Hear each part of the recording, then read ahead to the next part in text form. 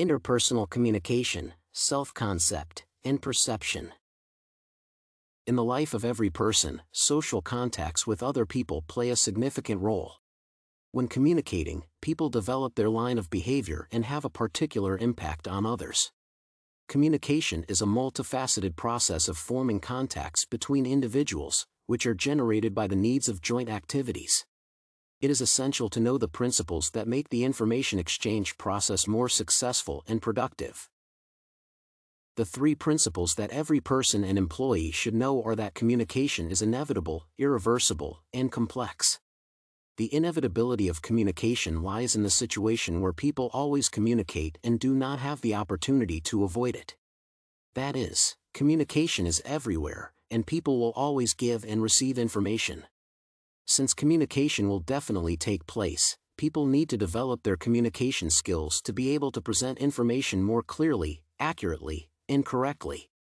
With personal communication, communication is inevitable almost everywhere, even in a public place, in a store, or when meeting with relatives and friends. In the professional sphere, the inevitability lies in communication with the employer and colleagues. The irreversibility of communication is an important principle and implies that what has been said cannot be returned. Words have their power, and it is necessary to think correctly and realize what exactly will be correct to say in a given situation.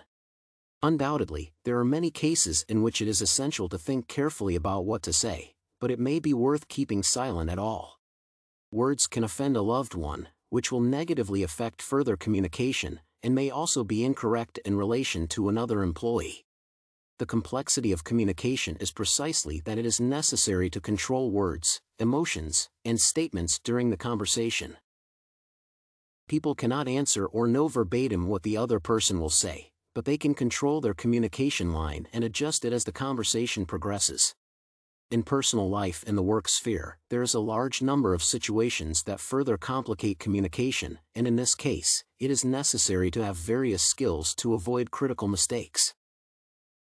The self-concept is a set of a person's ideas about themselves, about what qualities and characteristics he or she possesses. The process of social interaction and self-knowledge gradually fuses a variety of private images of the self and gives a person a sense of identity. Palomino states that the self-concept plays an important role in shaping the character of people.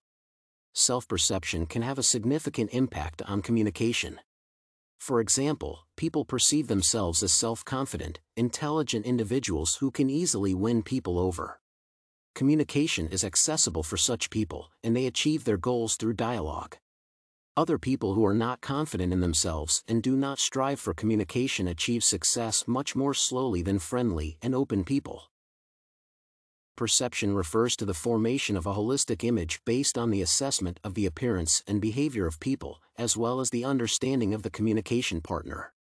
Perception shapes how people understand communication and how they communicate. It is much easier to communicate with well-dressed, intelligent, well-read, cultured people.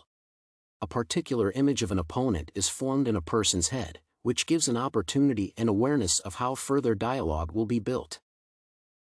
In conclusion, communication is a complex process in which it is essential to think through every word.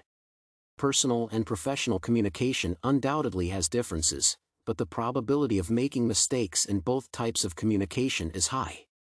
To communicate effectively, it is necessary to increase one's level of knowledge, gain skills, and know the basic principles of communication.